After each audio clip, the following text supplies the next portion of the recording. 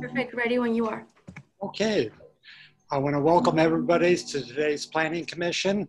I would like to start off with the Pledge of Allegiance. And Janet, would you be so kind as to lead us in that? Yes, no problem. I do allegiance to the flag to the flag of the United States of America, and to the the republic republic for which it it stands, stands one one nation, nation, under under God, indivisible, indivisible, with liberty and justice for all. Justice for all.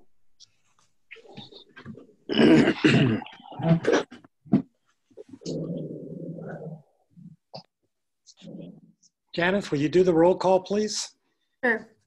Commissioner Gupta, Here, Commissioner Santa Cruz, Here. Commissioner Ramirez, here, Commissioner Ketcham, here.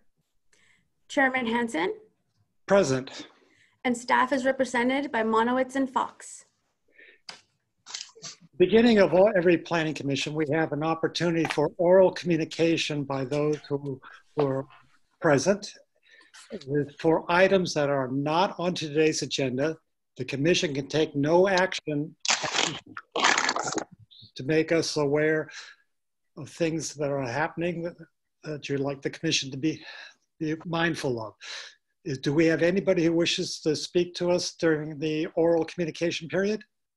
Um, we don't have anybody, but I would like to um, turn it over to my colleague Sukmani Purewal, who will just go over the, uh, the public comment portion of the meeting and how that will work.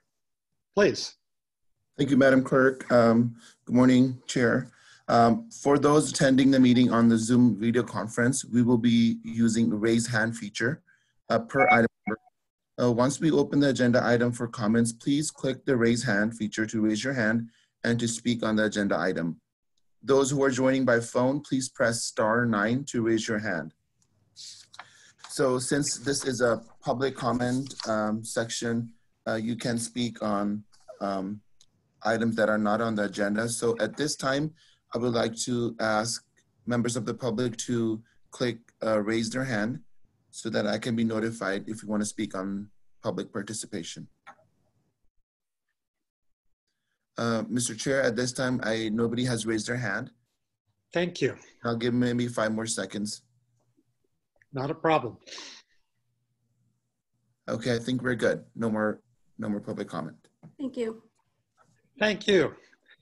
Um, Consideration of the minutes. We have two sets of minutes that have been amended and distributed. Is there any more updates, comments?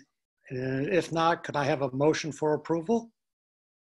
I move, I move to approve uh, amended minutes And from I both second, meetings. and I second. Okay, we have a a second. All those in favor, please say aye. Aye. Aye. Aye. It appears that it's passed unanimous. Okay, we'll move on to the next portion. We have one item on the agenda. For those who are attending a planning commission for the first time, our normal procedure is that the staff will do a presentation of which the commission will then ask questions of staff followed by, if so desired, a uh, presentation by the applicant, of which then it's an opportunity for the commission then to talk to the applicant. After that, it will be open to the public for comments, of which uh, today we're allowing five minutes per comment, of which then also the commission may ask further questions. At that point, we'll close the public comment and we'll come back to the commission for discussion and further questions and uh, hopefully coming to a resolution today. So I will start off with uh, staff doing, oh, Janet, can you please read in the um, today's uh, item and then followed by staff with their presentation. Thank you. Item number one, owner Skur LLC, applicant Anis Bishara, file number PLN 2018-00330, location 37 Frenchman's Creek Road, unincorporated Half Moon Bay. And then we have the project planner is Summer Burleson. Summer? Thank you. Summer Burleson, Project Planner. Uh, good morning, Chair Hansen and Planning Commission, uh, represented staff and members of the public. Uh, this item is for uh, a coastal development permit. Sorry.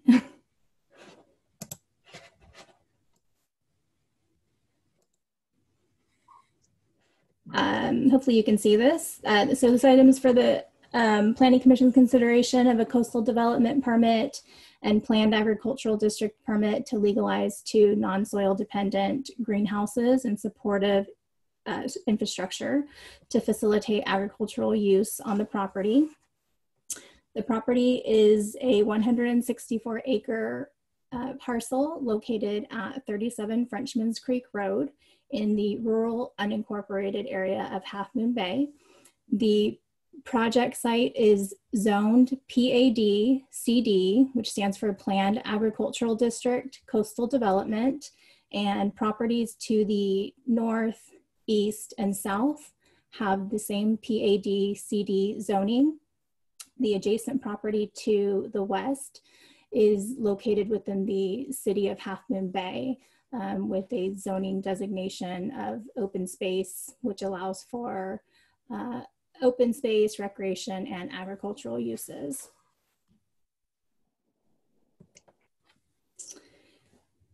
Uh, the applicant is proposing to legalize two non-soil dependent greenhouses shown here identified as greenhouse 9N and 9S. Both are over 11,000 square feet in size. These greenhouses were constructed by previous property owners without permits. Based on historical aerial imagery uh, research, uh, large hoop house structures were erected in the location where these two greenhouses are located sometime between 1993 and 2003.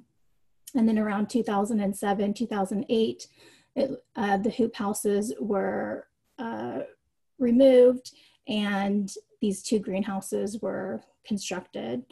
Um, since the original hoop houses um, were erected to current time, it doesn't appear that the remaining area around it that's um, highlighted here in the red dashed box um, has been used for any sort of agricultural activity. Um, in addition, the project includes a new bioretention area, um, which is shown here with this red uh, line um, for on-site treatment to be located. It's uh, located in an area where there's an existing drainage swale that's adjacent to an interior paved roadway that's just south of Greenhouse uh, 9S and um, approximately 80 cubic yards of grading is necessary to construct that bioretention area. Uh, Frenchman's Creek Road um, commences at its intersection uh, with Highway 1, um, and it extends approximately 3,500 feet within the city of Half Moon Bay um, until it reaches the, the city-county border. The applicant is pursuing separate permits with the city of Half Moon Bay for roadway work improvements um, that fall within the city's jurisdiction. The project before you today is limited to roadway improvements within the county's jurisdiction. Um, so extending from the county um, boundary line to the property back here. Um, the, uh, the roadway improvements include um, uh, constructing uh, four turnouts along the segment of the county portion, um, one of the turnouts will require some minor grading, approximately 135 cubic yards of grading uh, due to its location um, adjacent to a, an embankment. Otherwise, uh, roadway improvements include paving repairs uh, within the existing paved roadway where necessary um, to meet fire standards, fire lane striping, no parking signs, and uh, all work within the for the roadway improvements will occur within the existing 43 foot wide um, uh, roadway, private roadway, I should say. So uh, just taking kind of a step back, the project area, um, as you can see here, a majority of the parcel consists of hills that form a relatively flat valley through the center of the parcel where development constructed uh, in the 1960s for agricultural purposes exists. And this is where the greenhouses and water tank um, location is. And the rest of the development in uh, this valley area um, consists of uh, barns and metal buildings and storage warehouses that have all been used for agricultural purposes. Uh, historically, um, agricultural use on the property has included growing orchids, ornamental flowers, and cherry trees.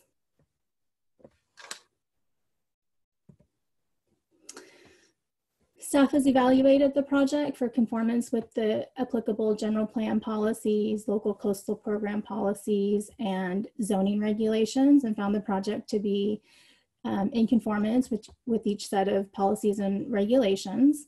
Um, the policies and standards uh, regulate a number of resources, uh, including biological resources, uh, general plan and local coastal program policies seek to minimize significant adverse impacts within and adjacent to sensitive habitats. A biological report prepared by Sol Ecology for the property um, concluded that on-site development associated with this project is over 180 feet from the nearest sensitive habitat, which is a stream channel. Uh, specifically, uh, the local coastal program requires establishment of a 30 foot buffer zone from riparian corridors and permits limited uses and activities within these buffer zones, including impervious surfaces and repair maintenance of roadways when no feasible um, alternative locations exist. For offsite roadway improvements, uh, the biological study concluded that there are no direct impacts to biological resources along the roadway. Uh, there are some riparian areas um, associated with the culvert with some culverted drainages that exist on either side of the, the roadway segment. Um, and you can see here in this photo um, the four turnout locations and the details to each of those locations. So um, turnout two and four specifically, you can see uh, the hatched areas in the detail show um, mapped riparian corridor, again associated with some drainage culverts. Um, the proposed turnouts have been sited and designed to avoid sensitive habitats. Um, as I mentioned, they are within the 30 foot buffer, uh, but um, pursuant to the local coastal program, um, given uh, this work would be consistent with the local coastal program allowance policy allowance for um, impervious surface and roadway, roadway repair and maintenance activities. Uh, additionally, um, conditions of approval have been included to um, ensure that there are no impacts to any riparian corridors or to any wildlife resources when this work is being completed, which includes uh, pre-construction surveys and um, exclusionary fencing around these areas. The project conforms with the visual resources policies of the general plan and the local coastal program. Uh, the property, as you can uh, hopefully see here in this photo, is surrounded by hills um, contained on the, the same property. So it's minimally visible. Um, it's not obtrusive to the area uh, due to the existing topography surrounding the property and the project site specifically um, and its distance from Highway 1, which is uh, it's over a half mile from Highway 1. Uh, the project is uh, not visible from any public view sheds or residential uh, zoned areas. The two greenhouses that are um, being legalized as part of this project are less than 18 feet in height, uh, where 36 feet is the maximum allowed height within the PAD zoning district. The greenhouses are just of simple uh, construction and design. They're constructed of metal hoop truss and framing with non-reflective um, coverings, as you can see here in these photos. The water tank is less than 11 feet in height and made of corrugated metal and a condition of approval has been included in the recommended uh, findings and conditions to ensure that the exterior finish of the water tank is non-reflective.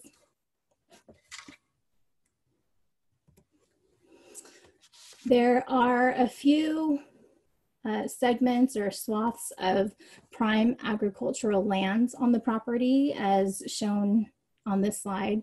Uh, the PAD, Planned Agricultural District, uh, prioritizes the types of agricultural uses on prime agricultural land and allows uh, kind of secondary agricultural uses on prime agricultural land subject to the issuance of a PAD permit which is being sought under this application um, as non-soil dependent greenhouses on prime agricultural land requires a PAD permit.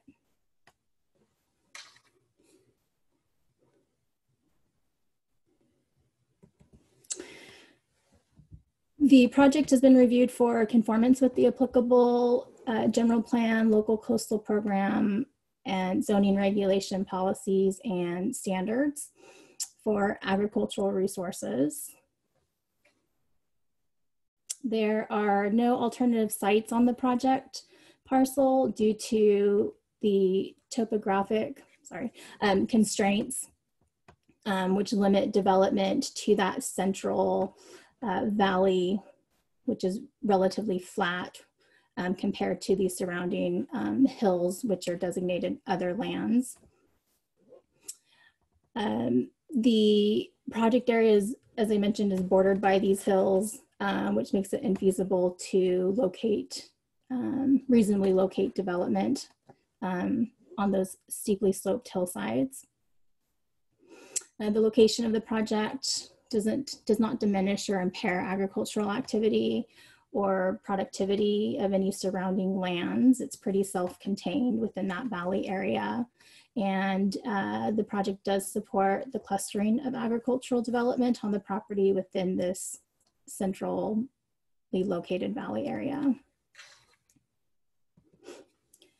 The project will continue uh, to support commercial crop production uh, with supportive improvements to facilitate and to support agricultural use in an efficient and safe manner. The owners are also, um, will be reactivating and maintaining 23,000 square feet of commercial cherry orchards on the property. And uh, the parcel is under Williamson Act contract. Uh, the property was placed in Williamson Act contract in 1966 and currently remains under contract. Uh, the county has reviewed the project for and the parcel for compliance with the Williamson Act and has determined that the parcel does comply with the Williamson Act regulations.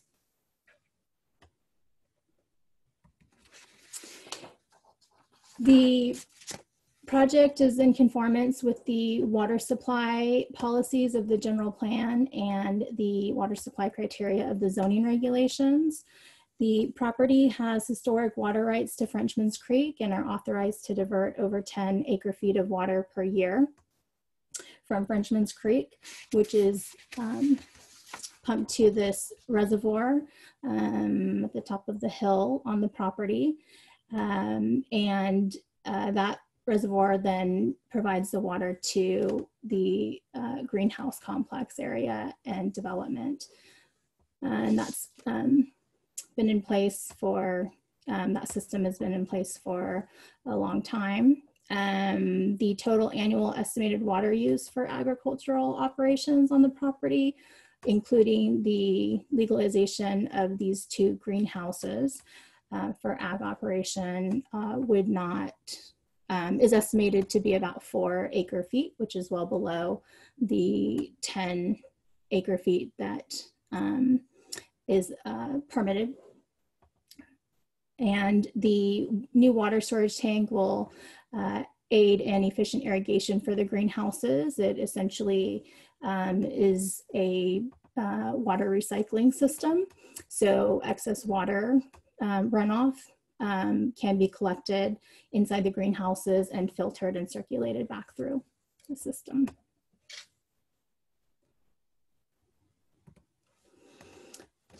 The project site is located in a very high ha fire hazard severity zone. Uh, the San Mateo County Fire Department has reviewed and conditionally approved the project for water supply, flow, and access. Uh, the project uh, consists of non-habitable structures uh, to support agricultural activity and the number of persons expected on the project site at any time is relatively low due to this type of use. The Agriculture Advisory Committee has reviewed and recommended approval of the project at their March 9th, 2020 uh, Ag Advisory meeting.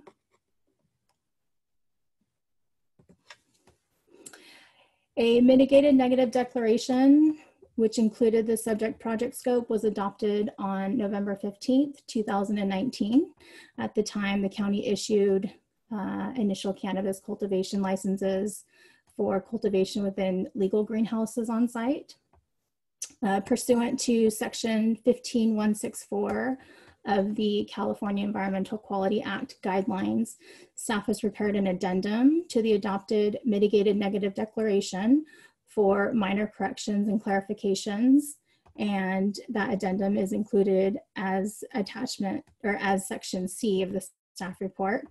Um, the uh, addendum does not include any substantial changes or present any new significant impacts or add any new mitigation measures. And therefore, uh, staff um, has determined that the addendum um, does comply with uh, section 15164 of the CEQA guidelines. The Planning Commission uh, is uh, being asked to consider the addendum with the adopted mitigated negative declaration and make findings which are outlined in attachment A of the staff report that there are no new significant effects, major revisions, or new mitigation measures, and therefore further environmental review is not required, which staff believes to be true. And so staff's recommendation today is that the Planning Commission approve the Coastal Development Permit and Planned Agricultural District Permit, County File Number PLN 2018 00330 by making the required findings and adopting the conditions of approval in attachment A of the staff report. And that concludes my presentation and I'm available for questions. Thank you, Summer. Uh, very nice presentation. Yeah, I do have one question right off the bat. This morning we got an email from a neighboring farm and I could not figure out the location of the farm and to yes. the project and are they are those concerns on county land where we have some say or is it all in city land so you could you help me with that letter yes the um, the letter received was from a property owner at i believe 780 Frenchman's Creek Road, which is the property just inside of the city limit. Um, let me pull up a map I had here. Sorry.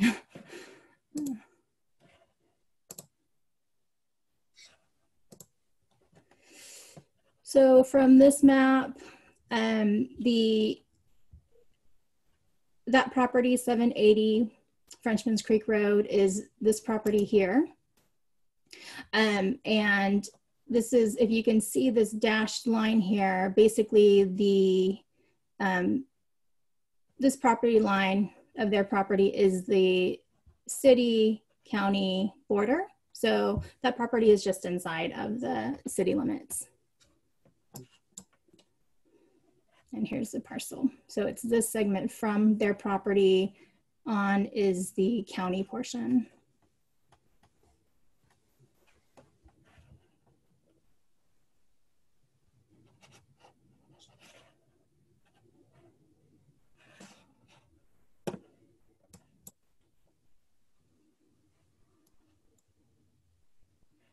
I'm sorry, I forgot to unmute myself. We have, uh, uh, first, thank you for the, the, the update.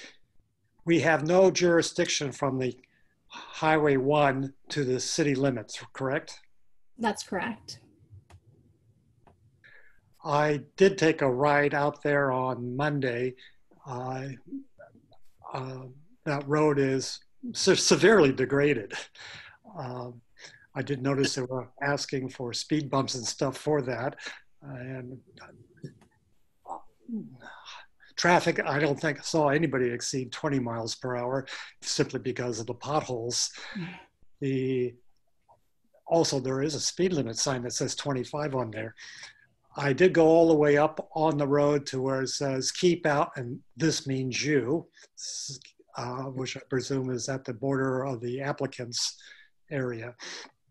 Uh, traffic was significant, which also did surprise me. Not just an observation on a Monday morning is uh, the amount of cars on the road, going in the road and leaving the road, but it didn't seem to be going to the applicant's property. But I was just for um, reference, more than I would expect on that type of road. Mm. And uh, also for reference, the Next Valley East is where I lived for three years. So I actually know the dirt road going through the property because I had made access back in the 1970s. Um, do any of the other um, commissioners have questions? And I'll start off with Commissioner Santa Cruz. Yes, um, Commissioner, I have a couple of questions. Um, and, and some of them relate to what you were saying regarding the limits of the uh, of the project and location. Uh, based on what I was reading, it's um, it looks like this project uh, it may be require uh, different jurisdiction, jurisdiction permits.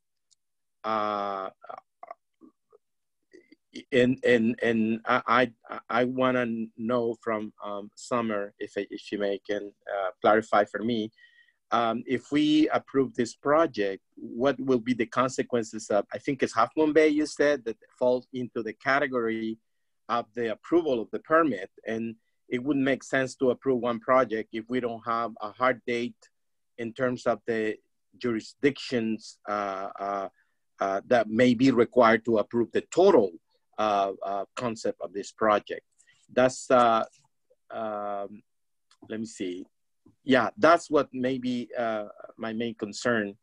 and the other one deals with the standard of access that you were that you were discussing, Commissioner. Um, if it, if if um, if Summer can kind of like clarify what would be what would be the consequences of approving a project that required two juris, two jurisdiction permits and if one city or, or, or county would not approve, what will be the consequence after, uh, at, at the very end?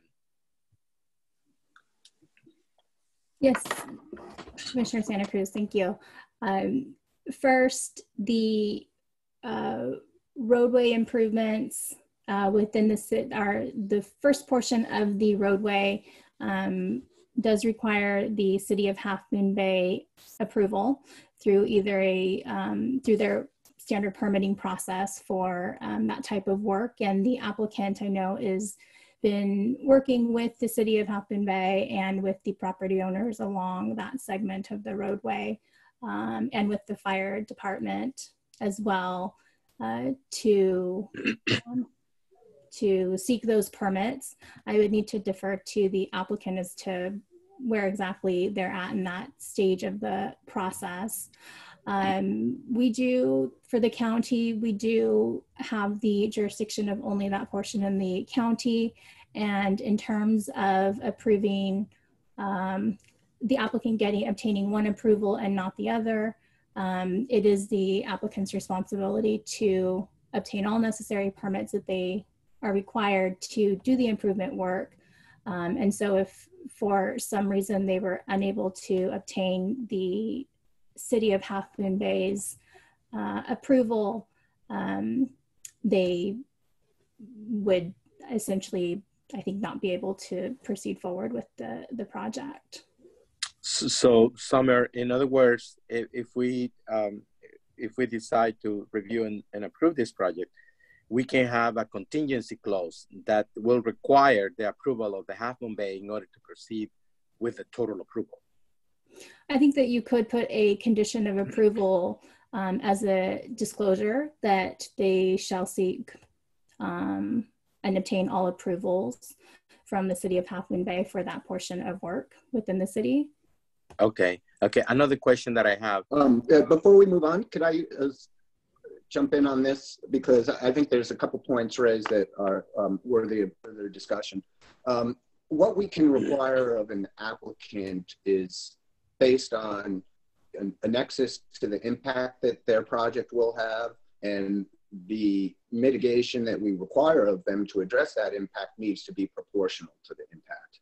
I think in the situation that we have here, and I think the person who wrote this letter acknowledges it, we have applicant who's been very generous and proactive in trying to address the roadway needs that serve other people on the road. And in fact, they volunteered to, you know, pay for improvements um, and to seek the necessary approvals that arguably go beyond just the impact of this project.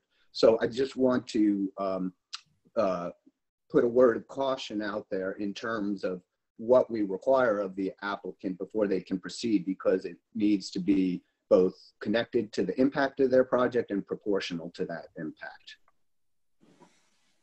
Okay. Um, another question that I have uh, either for Steve, for you, Steve, or for Summer, is the Williamson Act. That will require a 10-year contract with the with the uh, landowner um, so I assume that you guys had that on record that they already have signed that 10 year contract. Yeah. Um, so the Williamson Act contracts run with the run with the land and they automatically automatically renew every year. So um, every year it gets extended for another 10 years. And so this contract was placed by the former owner. It continues to be in place and it will continue until such a time that the applicant or the county goes through the non-renewal or cancellation process. So the contract is in place and staff's concluded that the activities proposed by the project are consistent with the terms of that contract. So for my own clarification, if um, somebody uh, go into automatic contract, so for 10 years, every year will will uh, renew. So if I renew this year automatically, next year I decided not to renew, I still have to comply nine years? That's correct. That's the way the Williamson Act works. Okay, great. Thank you, Tim. I acknowledge your head. thank you. Okay, thank you very much. Commissioner Ramirez, any questions? Uh, yeah, um, just uh, along the lines of uh, what uh, Commissioner Santa Cruz was saying, I would like to hear from the uh, applicant with regards to where they are um, with the application for the Half Moon Bay uh, permit for that road, um, which I think um, you know we should, in, in my opinion, you know we we uh, approve what is our part of uh, this particular permit, and obviously Half Moon Bay has their own way of uh, um, you know um, getting theirs. Um, the, my question, my subsequent question has to do with regards to water, water rights, um, and I see that uh, they have a pretty significant amount of water allocated to this uh, uh, property. and they anticipate that they will only use about 4.0 acre feet. Does this, and I, I, am not sure if actually uh. Summer actually uh, this. Um, the uh, 4.0, is that only for the use of the cannabis or does this also include all of uh, the um, what, what would be needed for the additional uh, agriculture on the whole um, area. So yeah, so that's that's my question. Summer? Yes, Commissioner. Yep. Yes. Yeah, thank you. Um, I would, I think I would need to defer to the applicant to clarify that. I uh, believe it is the entire agricultural operation um, that would be um, supported on the property, but I would like to defer to the applicant to clarify that. Okay, we'll wait for the applicant. Yeah, uh, would you like us to speak? Uh, yeah, that is accurate. That is all the water that will be needed for all the cannabis operations on the facility. And then to answer your question about the city of Half Moon Bay, um, you can, well, I could have our legal chime in as well, but it's not needed. We, the last eight months has been, uh, you know, collaborating on roadwork plans with the neighbors. Um, you know, we want to make sure everybody's happy with the roadwork that's happening. Um, we've been through a lot of comments with them, all of them positive, nothing really detrimental to the project we finally reached the stage where all owners are happy with the roadwork plans, uh, essentially ready to submit to the city. The most recent plans really involved adding speed humps in certain areas where uh, the, the, the other owners wanted. Um, but you know, this this hearing today was actually a big uh, critical point uh, to us because we were going to you know submit to the city uh, on Friday on, on, on, this week as soon as at right after um, pending to see what the what the what the planning commission had to say about it.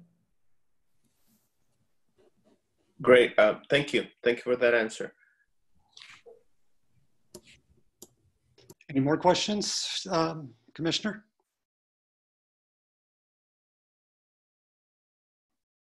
No, not for me, no. Okay. Commissioner Ketcham, do you have any questions of staff?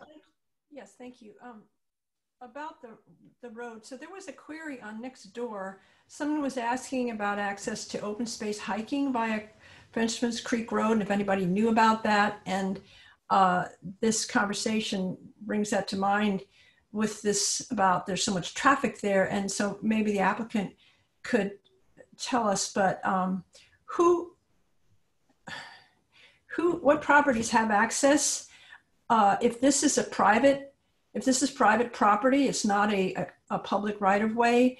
Um, is there any signage earlier on on the road? For, for example, for these queries on next door saying private property, is it not a public, you know, anything like that? Because apparently the community doesn't realize how private it is.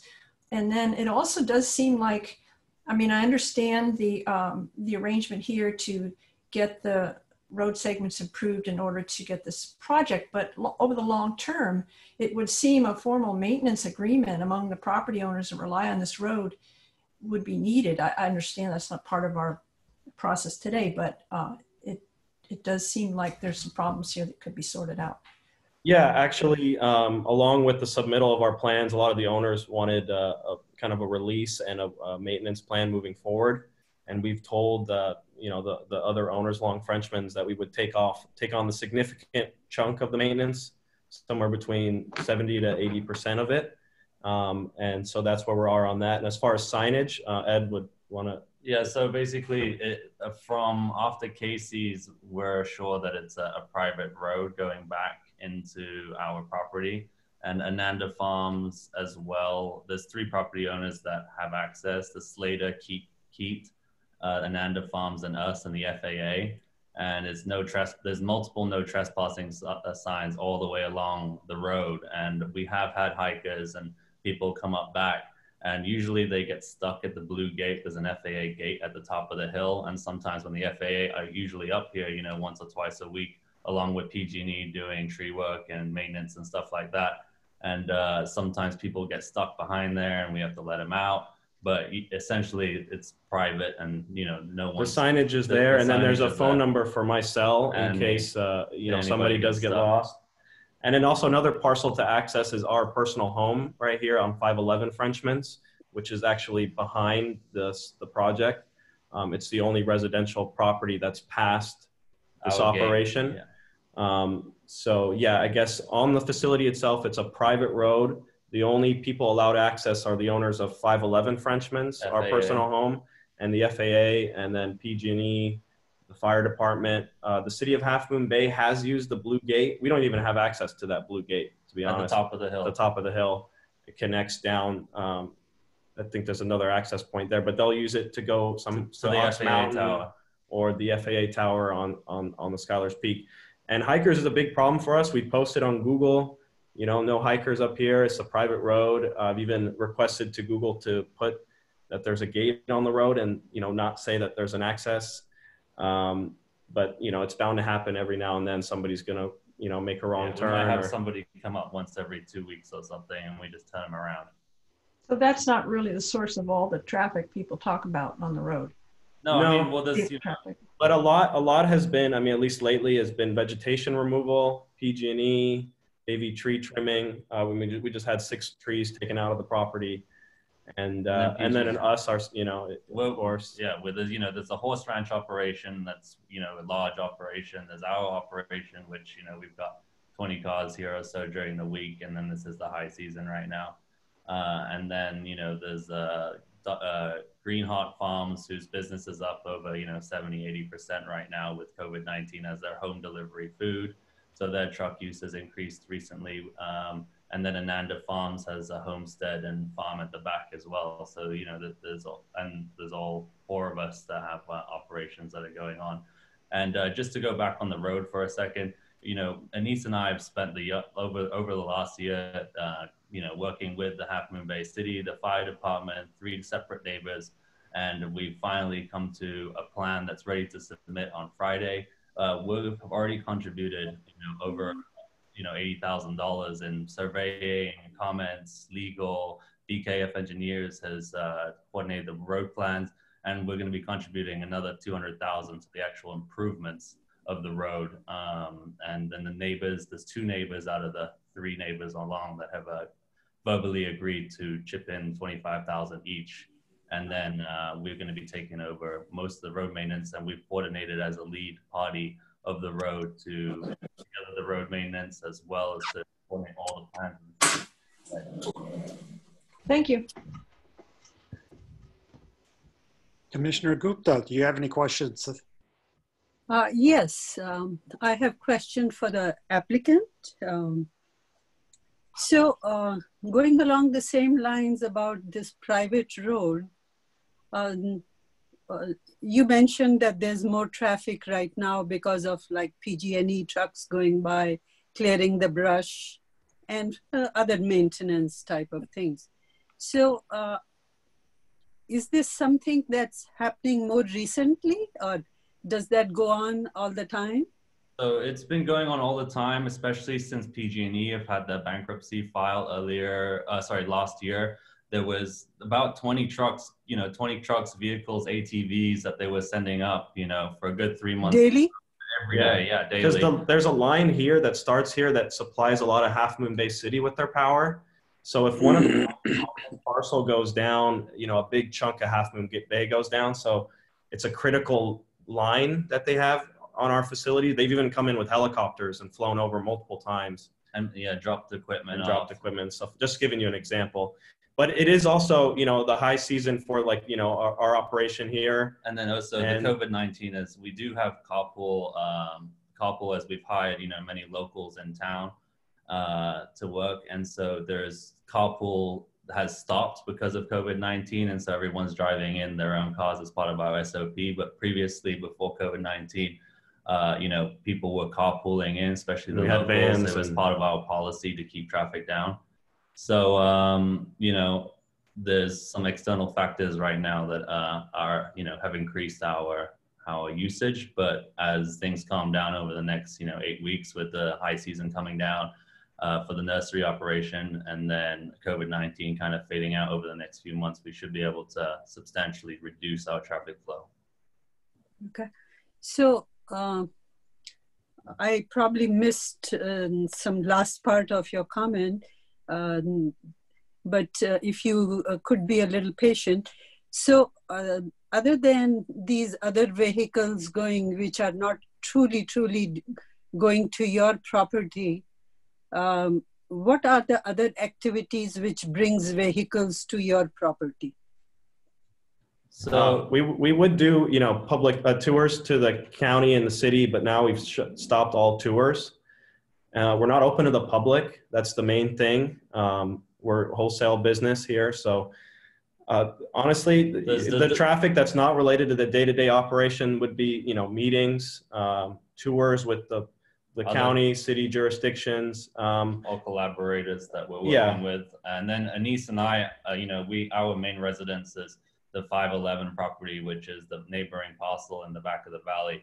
And, you know, we live here and have, you know, yes. a few friends over every now and again. So, Obviously, yeah. not right now, but uh, there's definitely, you know, a few cars contributed every day to our residents. Personal residence. So, so what do you mean by the tour of the property? I mean, like for example, we give tours to the county, to the city officials that are wondering how the operation works. Uh, we we have like oh, a. This is Sorry. Yeah. this is in, in connection with the um, application? Yeah, it, previously. There hasn't been any recently, but you know, we're just giving you examples. Previously. Uh, okay. You know, there has been tours for the city of Half Moon Bay. You know, the, the we have given tours to representatives of the county previously. The, you know, but there's not it's not any by any means a huge number. Traffic number, no. Um, yeah, I can't imagine that. It would right. be person, you know, if I have family coming to visit or, you know, friends coming to visit my house, a couple cars a day added. But yeah, you know, there's, we have delivery, yeah. deliveries going out from the operation, from the nursery operation, uh, on a, you know, every other day basis. Uh, and, you know, they're in small trucks that shouldn't have, you know, very minimal impact to the road. Uh, and then, you know, other than that, it's just, you know, operational stuff. Um, and then I'd also like to mention that, you know, a lot of since we own the adjacent residential property, uh, it's two three bedroom house. We house two two two two houses that are three bedrooms each. Uh, we house at least four of our uh, managers and employees In here the of the operation. Um, so that reduces our that reduces flow. a lot because you know they live here behind the facility, don't actually have to commute. They don't live on. They don't live on the farm. They live on our personal residence residential. So uh, all the people working on your um, farm, greenhouses, whatever else maintenance is there, uh, maintaining the property, they all live no, on the... no, not all of them. I would say 70%. No, well, 70% of our operation. Yes. But then there's also, so we have a sublease uh, uh, that we should maybe talk about this a little bit. Sorry, a lease to uh, Dark Heart Nursery who hold the other cannabis license on here, and they're the, the nursery license, and we're the cultivation license. And so our operation, you know, has a significantly, you know, we only have about eight employees, uh, and you know, they only come in for three three days a week. We have full full uh, capacity of our employees, and then four days a week we only have four or five employees. Uh, we do have um, uh, seasonal employees that come in during trim time, uh, but they only come in for you know a few days, and they all stay in our back house, so they're not leaving and going, and they all come in the same car together. It's like a kind of a subcontractor group uh, company that you pay, and then Dark Heart, the nursery operation, they have you know a few more, they have more employees than us, uh, and none of their employees are, are staying on site and we actually have them here with us. So if you have any uh, questions for them, you know, uh, there's Jen, Jen who heads up the, the operation. Jen, you want to raise your hand real quick? Um, and then there's Mel, works with Jen, and they're they're our tenants of our property since Denise and I are the property owners, but uh, they uh, have and they have their own license. But again, thank this, you. Um, Thank you very much for uh, explaining that. Okay, so how long have you been the owner of this property? Uh, well, we put it in escrow back in 2017, November. November, and we spent a year, a lot of cleanup. A year, a year, we spent a year and a half cleaning the property up. There was a number of uh, violations that. So we- since 2017. yeah, Yeah, but we closed escrow in, in 2018, uh, March, Yeah. So Okay. a little over a year ago. yeah. Okay, great, great. So, um, so my next question is, what do you expect the, uh, the duration of your project once all the approvals take place? What, what, what do you mean by that? How long this operation will last? How last? long, how long is it going to take to, uh, from start to finish to complete this project?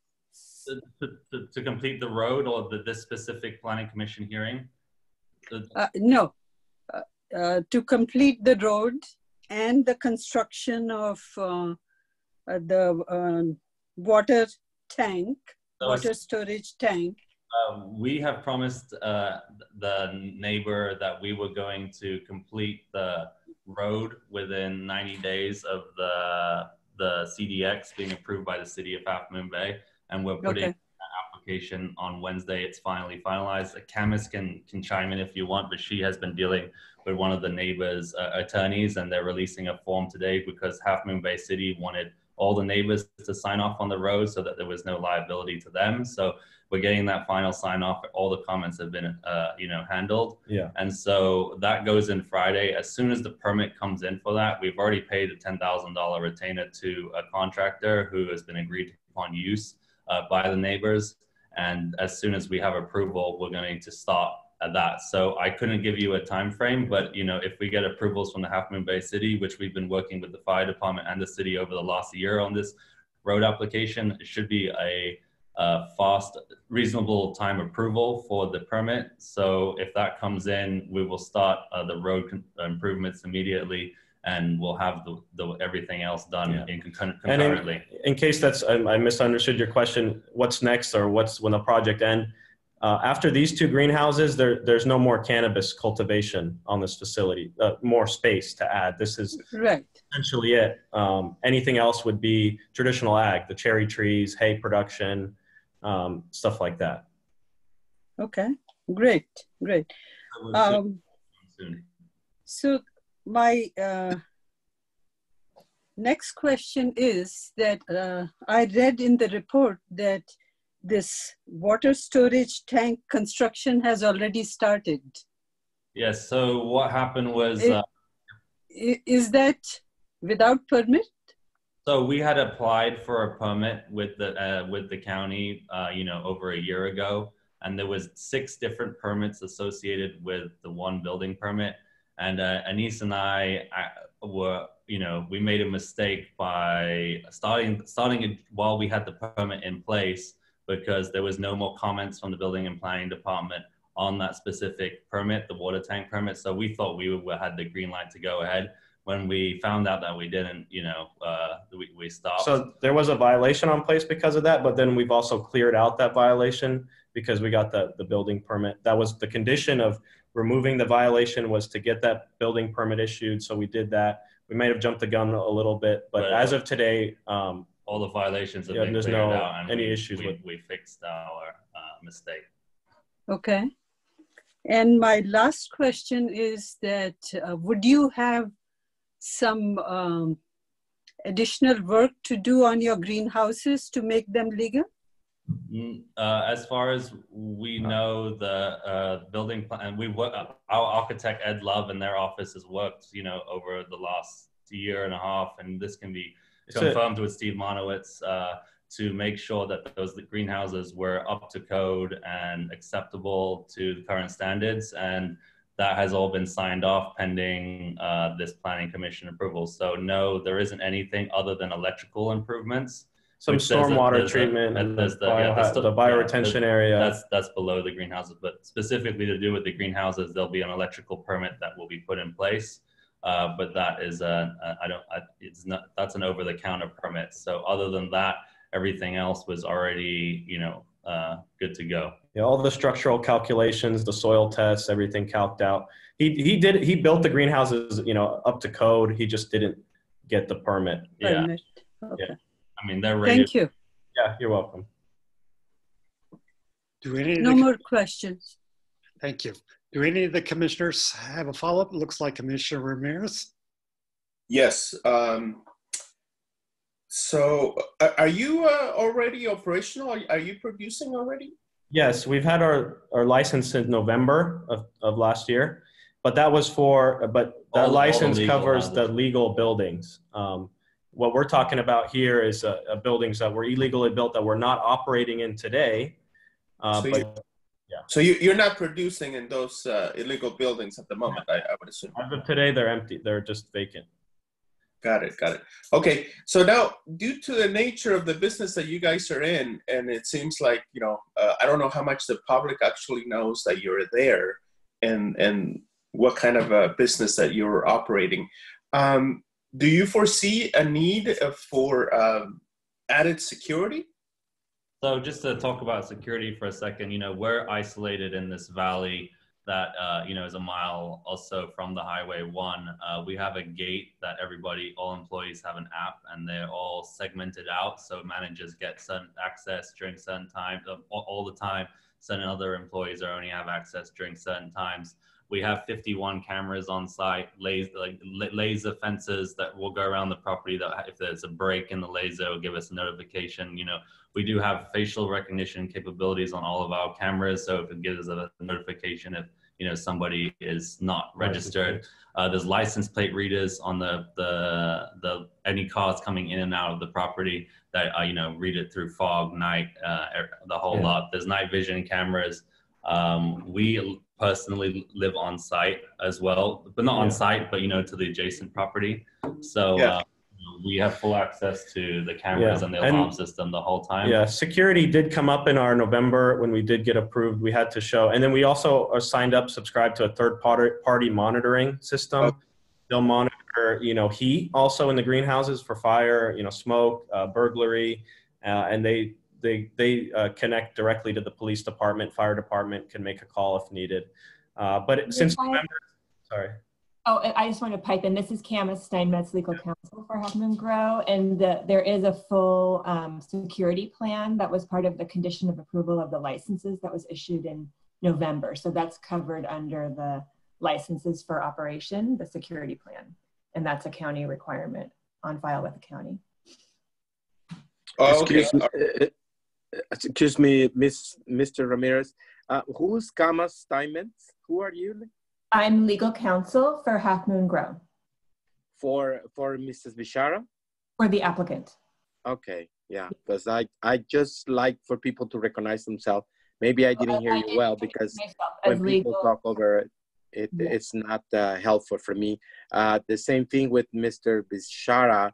If your partner take turns in talking to you, because when you both talk at the same time, it's kind of confusing. Okay, sorry. Thank you. Uh, all right. Um, I think you've uh, uh, clarified my question, uh, the concern that I actually had about security.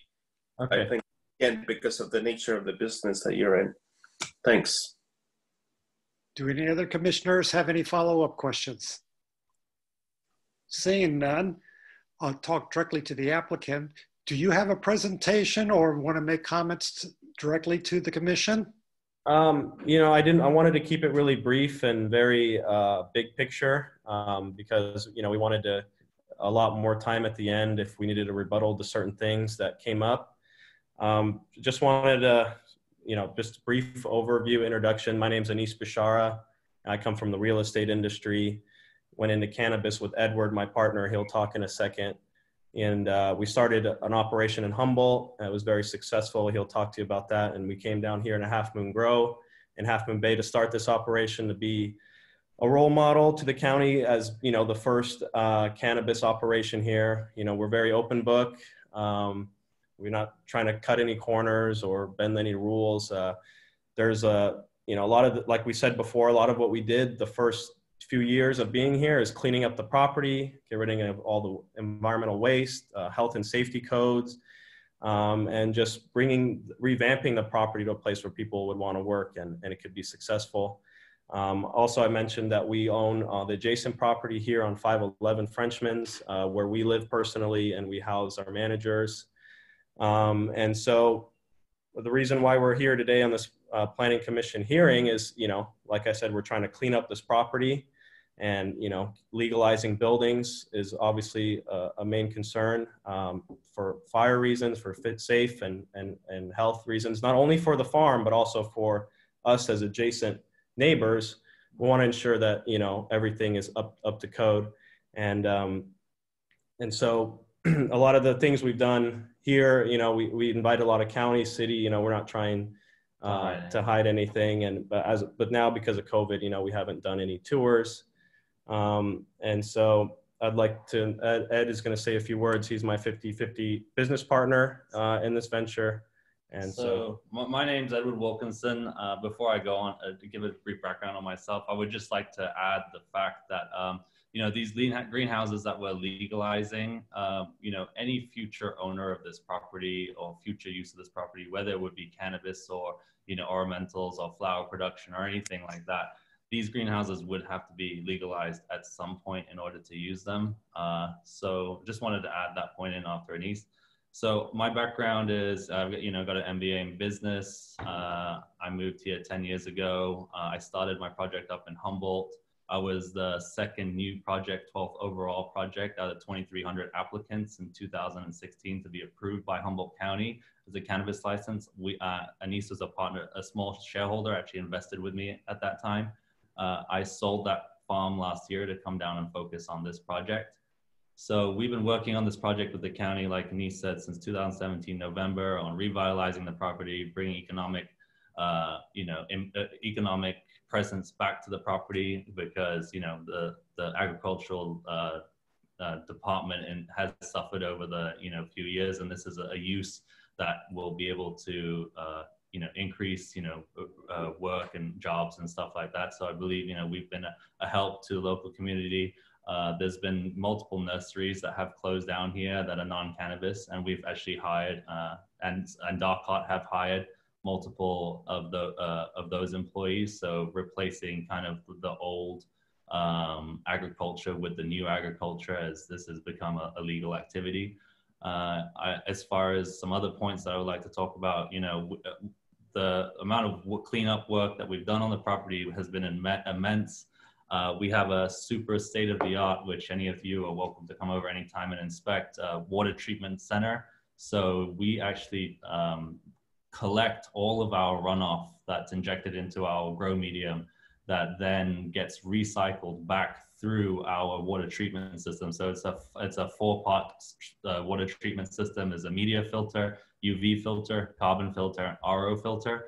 So that gets re re uh, we reuse all of our water that we actually run off that the plants don't suck up. And same with the nursery operation, they have a whole catchment system that re recycles all of their water. So our water consumption is as sophisticated as the state gets in as far as cannabis growing goes. We, um, and yeah so we've spent you know a, two years on this project and this is one of the next steps that we're at right now. There's been many other steps and hurdles that we've had to jump through and work we've been working diligently with the county. And i'd just like to introduce our team before i jump off. And if any of them have any question uh, uh, anything to say then i would love for them to chime in so we've got Camas. Uh, Camas is a land use attorney. She's been working in the county uh, with the county on another, a number of other projects, and she's been coordinating with uh, the, uh, mainly on the road and to do with our cannabis license and making sure the neighbors are happy and we get all the right documentation from them. Uh, we have Roland and uh, Dale from BKF Engineers. They've worked with us from the start of the inception of this project. Uh, we hired them uh, right at the beginning to ensure that we were above board and a role model in all of our application processes as they, you know, are one of the top uh, civil engineers in in the county and Bay Area, in our opinion. Uh, we I'm not sure if Ed Love's on here, but we've hired Ed Love as our architect, who's worked on the coast and you know he's uh, knows the county and county regulations very well.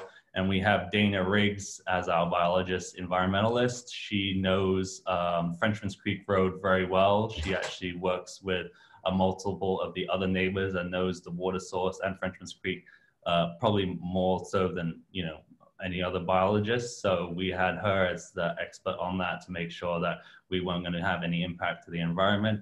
And all in all, you know, from the previous owner who, you know, created all these violations, we have, you know, spent an immense amount of time and money making sure that, you know, our project is in full compliance and we want to be continue to be a role model for the county.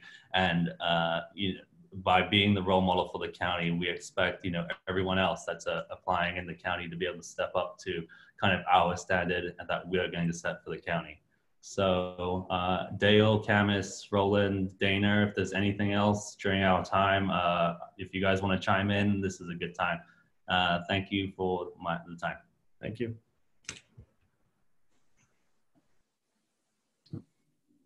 I, I had a question, uh, Chair. Go ahead. Um, are there any other properties on Frenchman Creek in your neighborhood who are also cultivating cannabis? No, no. There's one other project in the county that just got approved, and that's in Pescadero. I believe the company is called Cali Dutch.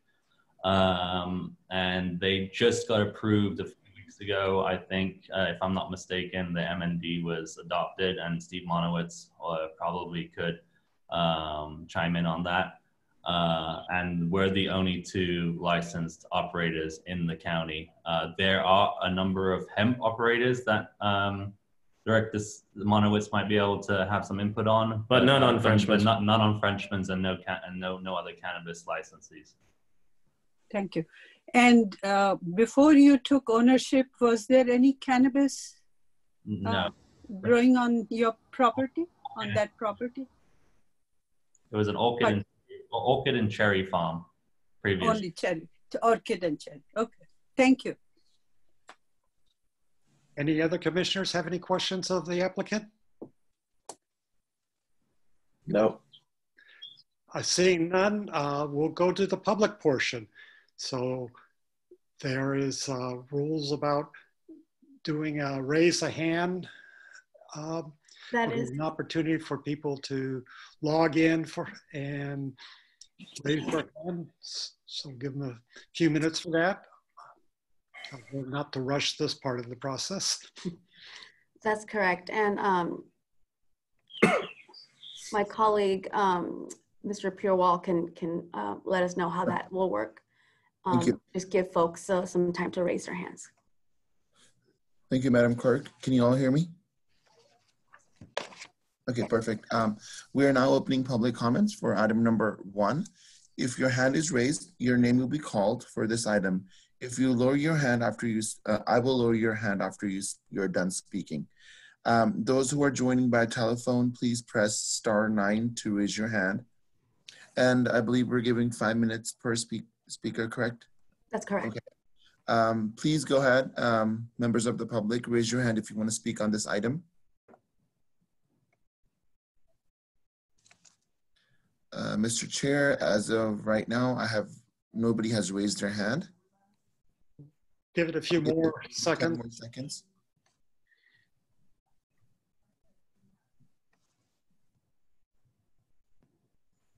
Okay, no speakers for this item, Mr. Chair. Thank you very much. And without objection, I'll cl- close the uh, public portion and move to uh, further questions of staff and if not, and then on to discussion. Um, Can I interrupt? Would I need a roll call to close public comment?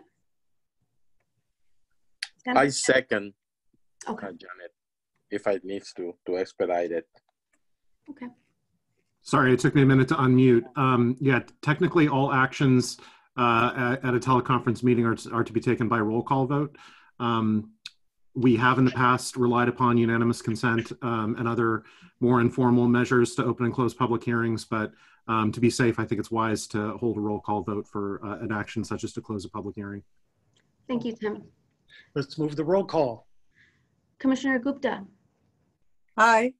Commissioner Santa Cruz, Yes. Commissioner Ramirez, Aye. Commissioner Ketcham, Aye. Chairman Hansen. Aye. Thank you.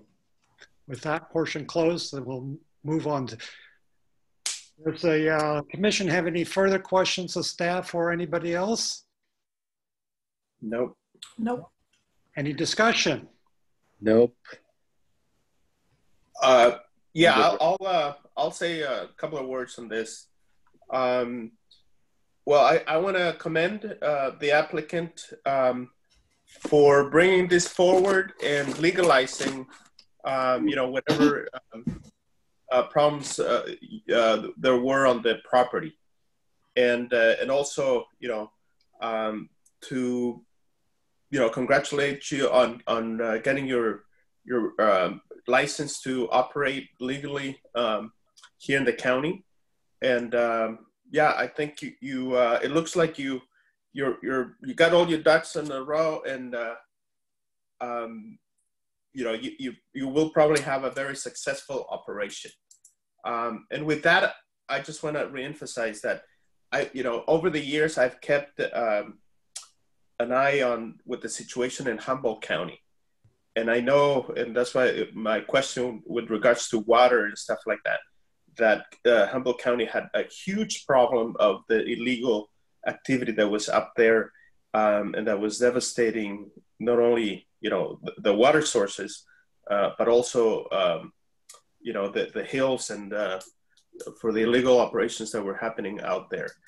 Um, I hope that you know who I, I think there's still some I've heard there's still, you know, a, lot of illegal operation happening uh, in the area, and I hope everything, you know, comes uh, uh, and gets uh, regularized. So for that, I mean, I'm I'm totally in support of your project, and uh, I wish you good luck. Okay. Any other comments?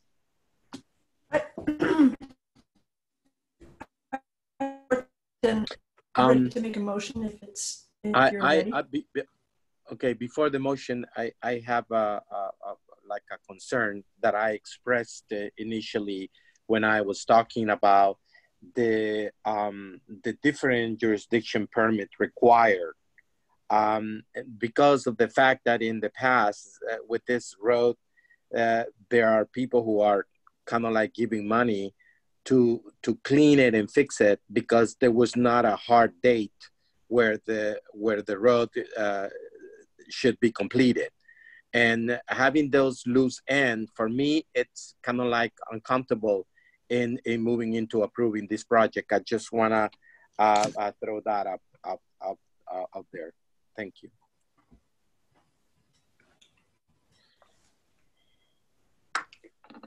Any other further, Lisa, did you have comments? Oh, I support the project and I'm ready to make the motion if, if we're, Uh, I would just like to make a comment. First of all, I would like to thank Summer for a very uh, detailed, complete uh, presentation. I think it was very well done, keeping our new mode in mind. Uh, you brought out the right kind of things. So thank you so much for that. Thank you. Uh, second, just a side question. Um, Ed, I did not get your last name, My last name is Wilkinson. Wilkinson. Okay. Thank you. Um, and I'm in support of the project. Thank So uh, I think we're ready. Yep. And I'll just on be clear, I th- think you've done due diligence. I think you've been upfront, which is always greatly appreciated. And um, I think you'll be a good addition to the neighborhood. So welcome. I used to live in that, excuse me, in that area. So uh, hearing, excuse me, a majority in support. Can I get a motion to that effect? yes. I move we approve the coastal development permit and planned agricultural permit, county file number PLN 2018-00330 by making the required findings and adopting the conditions of approval in attachment A. I second that. Okay, we have a motion and a second. Um, roll call, f- please.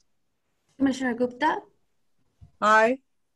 Commissioner Santa Cruz, uh, no Commissioner Ramirez, Aye.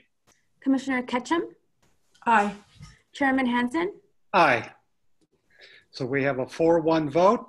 Um, congratulations. And uh, we're, you go on to your next set of approvals. All right. Thank, Thank you. you so much, everybody. And thanks, commissioners and Summer, And Summer, for, for yeah, joining us in and the, the county staff. amidst this pandemic. And thank you. Congratulations. Well, off to item number two, correspondence and other matters. Thank you, Mr. Chairman. Excuse me, please. Um, Other than the correspondence that we received for the item that you just considered, uh, we did receive and Janet forwarded to you um, a letter regarding the Cypress Cypress Point project. Um, Attached to that email was a traffic study that's uh, been completed. Um, And we will address the issues that are raised by that study at the next hearing regarding that project. So unless there's questions about that correspondence you received, I'm ready to move to the next item. Okay, uh, so as far as the, the next meeting goes, um, I'm not recommending that we have a study session, among other reasons, because we have three items scheduled um, at this point. Uh, the first item is a permit for a new well at Butano State Park to serve visitors to the park. Uh, the second item is an amendment to the local coastal program being requested by the Mid-Peninsula Open Space District and Peninsula Open Space Trust. Uh, the purpose of that amendment is to excuse public agencies from requirements to record agricultural and conservation easements when they undertake land divisions for the purposes of providing public access. So um, there's been a lot of interest in that project, and I expect that there'll be um, a good turnout of folks who want to talk about the matters related to that. Um, finally, the third item is uh, permits and a negative declaration for a new home on La Honda Road. So that concludes uh, my report regarding the next meeting, and I'll move on to the director's report, if that's okay with the chair. Steve, so we're Yeah. not going to have Cypress on this one. No. Um, in fact, I, I was going to um, update you on Cypress as part of the director's report. Go ahead. Sure. Um, but first, um, there's a couple things coming up uh, next Tuesday's board uh, board meeting that I wanted to alert you to. Um, the first being an appeal of the Planning Commission's denial of the coastal development permit for the Pu- Purissima Cemetery.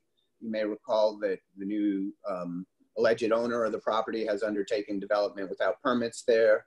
Those were uh, denied by the commission. The applicant has appealed that to the board.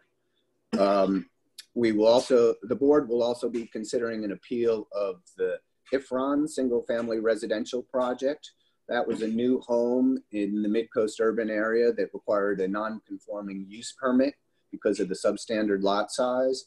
And uh, the opponent to that project has appealed the Planning Commission's approval to the board. Um, finally, we have uh, renewal of the contract with San Francisco Airport to manage this San Francisco Airport Roundtable Committee. That's the committee that addresses the impacts of San Francisco Airport noise on surrounding communities. The airport provides funding to the county to oversee that committee. And so we're renewing our commitment to continue those efforts with uh, the airport. Um, so that's the items coming up on the board. Um, after that, we're going to be initiating some virtual workshops and meetings regarding Connect the Coast Side.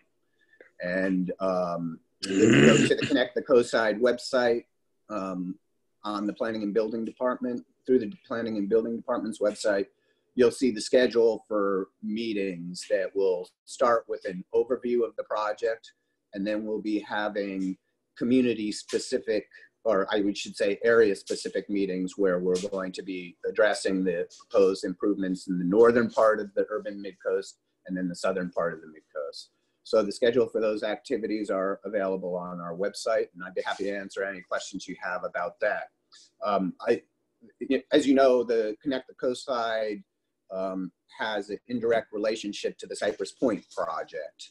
Um, Connect the Coast Side seeks to identify the long-term improvements that are needed not only to accommodate this project but other development in the region. Um, going to back to Cypress Point, um, there are other um, transportation improvements that will be required to make that project feasible that will be on a slightly different schedule than the long-term improvements um, proposed by Connect the Coast-Side. And those uh, shorter-term improvements um, are being refined as we speak right now. In fact, um, I'm going to be meeting with De- uh, Department of Public Works and my staff after this meeting to make sure that we have a clear picture of what we will be presenting to the community and to you when we come back for Cypress Point in terms of the traffic mitigations that will accompany that project. So because we've needed to um, refine those details, we push back the hearing, the continued hearing on Cypress Point to June 10th at this point. So we have it penciled in for June 10th. Um, I can tell you that there's been um, concerns expressed by members of the community about continuing with hearings um, under the current situation. There's also concern about um, from community members who are worried about, you know, having to review, connect the Coast-Side and participate at workshops at the same time that they're trying to prepare for the upcoming Planning Commission hearing on Cypress Point. Um, I, am sensitive to those concerns, but um, I'm also sensitive to the need for Mid-Peninsula Housing to move on with their project. As you know, that they, they are holding an option to purchase that property that is costing them something in the order of $10,000 per month. So it's really important to them that we move forward with the Cypress Point hearings. And um, we believe it's equally important that we keep Connect the Coast-Side moving forward as well. So um, unless there's questions about Cypress Point or Connect the Coast-Side, I'll move on to um, the next item in my report. Seeing no questions, um, just wanted to update you on what's happening in the planning and building offices. Um, as you probably heard, there was um, a lifting of restrictions on construction by the health officer that has um, increased the workload of the planning and building department um, because all those applications that were in the pipeline that couldn't proceed with construction now were eligible to proceed. And so we've actually been quite busy in the planning and building department getting permits issued to people who want to start their projects. And the good news is we've been successful in providing these services in a manner that I think is consistent with the need to protect the health of our staff members and the general public. And we've done that by essentially providing all of our services remotely. Um, we have had staff going into the office as necessary to do certain things. One of those things being if we have to issue a permit for an application that was submitted before we were taking in electronic applications and we have to deliver the stamped approved plans, we make arrangements with the permittee for a specific time that they will come by the office to pick up the plans and the permit technician will drop off the approved permits and the stamped plans downstairs in order to avoid face-to-face contact. Um, I, I, think at our last meeting, I expressed a desire to reopen our front counter to make sure that we're providing services to everyone who needs those services. Um, we're backing off from that a little bit for a couple of reasons. Um, primarily that, you know, we continue to be concerned about um, the spread of the virus. And we believe that restricting use of the elevators and the stairwells in the county office building to staff only will greatly limit the potential for spread. So, um, and then the other thing is that we found to date that we are able to provide the services we need to everyone because we are receiving phone calls from folks who are not able to navigate our electronic systems and actually, there's been quite a few sweet stories of my staff spending quite a bit of time on the phone with applicants, walking them through step by step so they know how to get done what they need to do electronically. I've also received some very nice notes from applicants who are appreciative of the help they've received from my staff over the phone and also appreciative of the fact that the planning and building department has stayed open for business. That hasn't been across uh, true across the board in other jurisdictions, and our constituents have really valued the fact that we stayed open for business and are continuing to provide them those services. So um, at this point, the um, front counter will remain closed for the foreseeable future, and we will continue to monitor our ability to provide our services effectively, and we'll make adjustments as necessary to make sure everybody's receiving the services that they need. Um, so that's my update um, for today, and I'm happy to answer any questions. Thank you, Steve. Any, any questions? Ramirez, you need to turn on your phone. Uh, there, yeah. Uh, hey, just a quick uh, follow up uh, on that. So, are you doing um, inspections on site, on site inspections? Um, so we're continuing with the video inspections. Um, Okay. The video inspection platform has gotten very high uh, reviews from my inspectors. They really like it and they think it work, works effectively.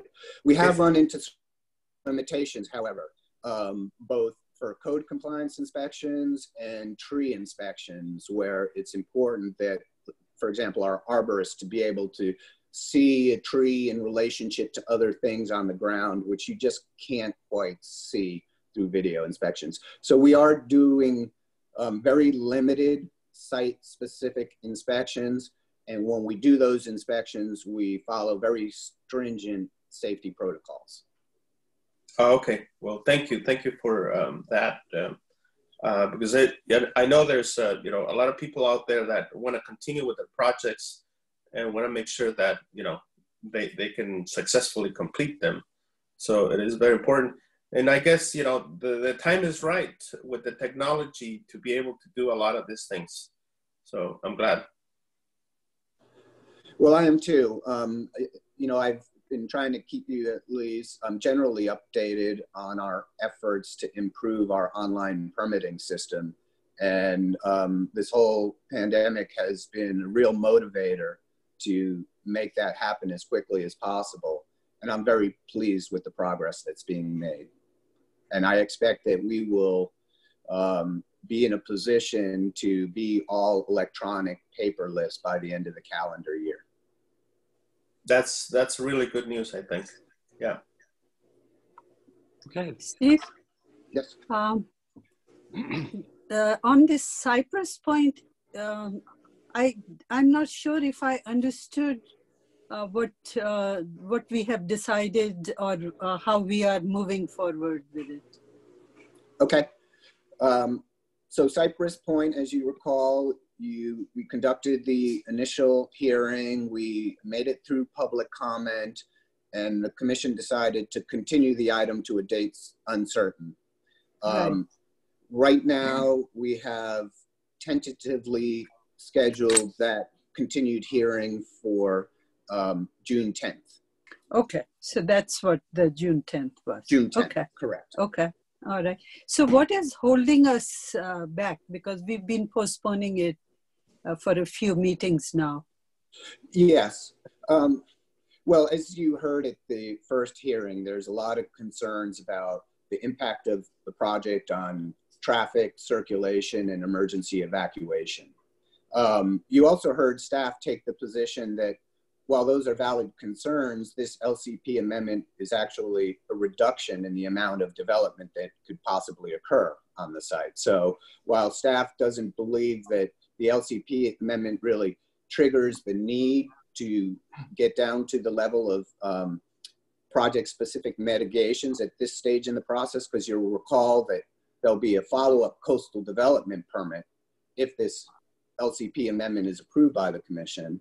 And it's the staff's perspective that the detailed transportation mitigations need to be identified when we issue the permit for development, not at this LCP amendment stage, despite mm-hmm. staff's position on that matter, the commissioners asked us to be prepared to provide as you know detailed and specific information as we could at the next meeting.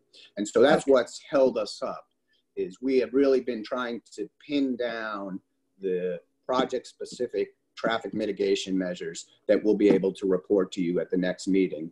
And we needed to make sure that our Department of Public Works are on board with those um, mitigation measures and that the applicant is aware and on board with what those mitigation measures are. Um, we, we described them in broad terms at the last meeting, but in the interest of being responsive to the questions and issues that were raised at that hearing, we are um, trying to develop um, greater details uh, regarding that so we can answer those questions. Thank you. Thank you. Uh, another question that I had is um, I don't exactly remember uh, the um, details of the project, but that was one of the projects that uh, Commissioner Ketcham uh, was very uh, interested in closing in a good time. Like she was talking about 90 days, and I think we talked about four months. Has that project uh, scheduled sometime to come back? And do, uh, do you remember? Uh, well, I, I share the interest in moving this project forward as quickly as possible. In terms of specific timeframes um, that um, Commissioner Ketcham might have suggested, I don't recall, and I'd be open okay. to hearing her thoughts okay. on that. Do, do, any of the other commissioners remember that?